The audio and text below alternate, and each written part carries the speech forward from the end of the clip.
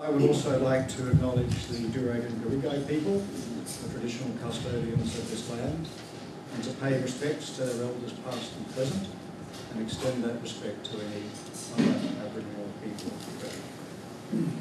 Thank you all for coming tonight. Thank you to the Civic Trust for organising this.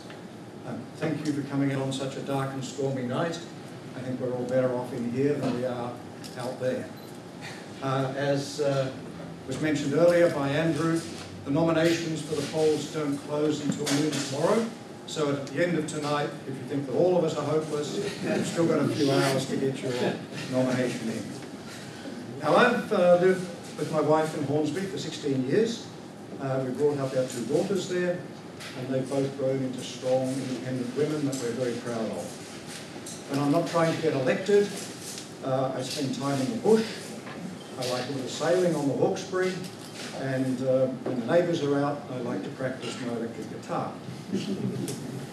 I'm an emeritus professor of physics, which basically means I'm retired, though I retain the status of professor. I trained in physics and chemistry and have spent most of my career, some 40 years, doing astrophysics.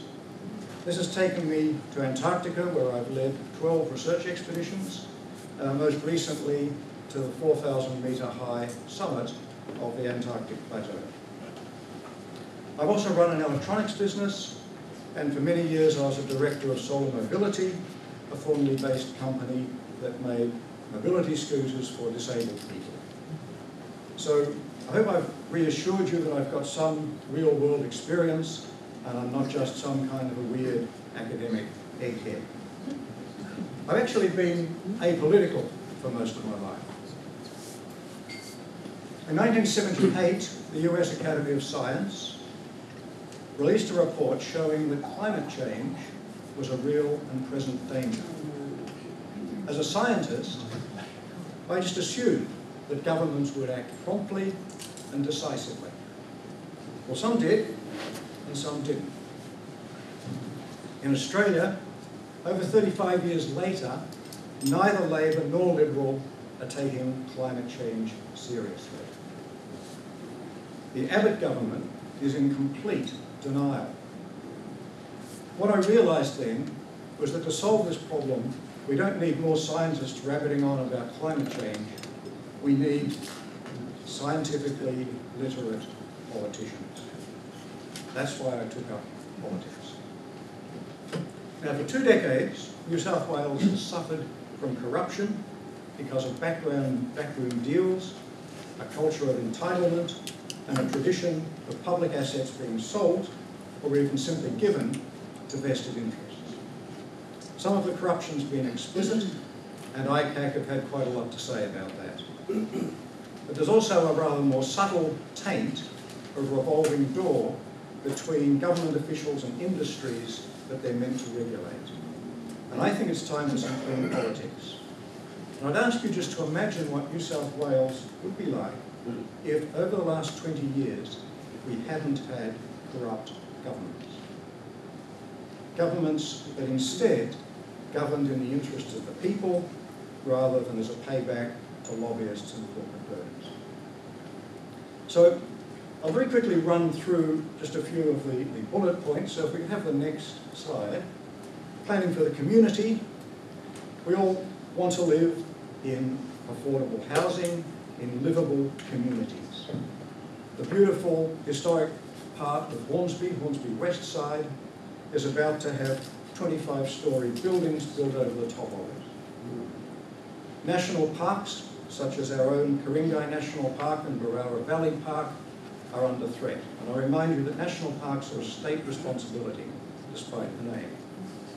National parks are there, first and foremost, so that future generations can enjoy what we enjoy. They're not for building sports fields on, they're not for shooting in, they're not vacant land that the government of the day can simply excise and use for its own purposes. The economy. the economy has become the new God, and it shouldn't be.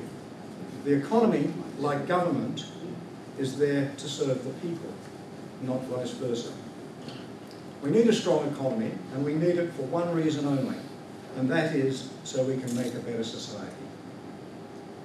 If we damage the society or the environment for the sake of the economy, then we've achieved nothing.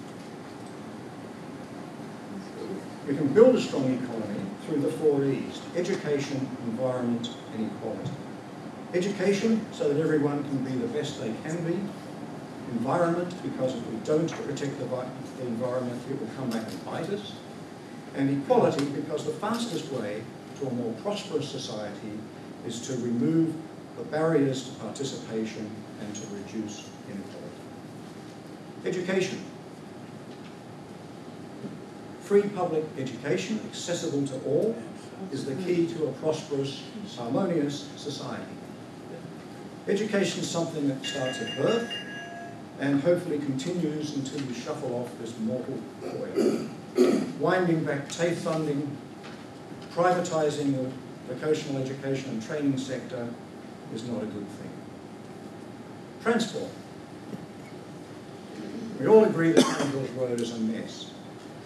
But after the tunnel opens in 2019, after there have been 50 trucks a minute going in and out of Hornsby Quarry, quarry when it opens in 2019, Pennant Hills Road will be more clogged than it is now. Two years after that, the M1 will be at a standstill. These are not my numbers, this is from the Traffic Authority's own modelling. So the tunnel is not a solution, it's a band-aid. We need to take a deep breath and find out how do we solve transport. And there's a lot of ways of doing a lot of components, of which public transport, of course, is front and centre. Clean energy. Tony Abbott's Liberal government have completely dropped the ball on this, and so now it's up to the states to take charge. New South Wales has some of the best solar resources in the world. We can create a 100% renewable New South Wales. We don't need coal. It's a horrible health hazard.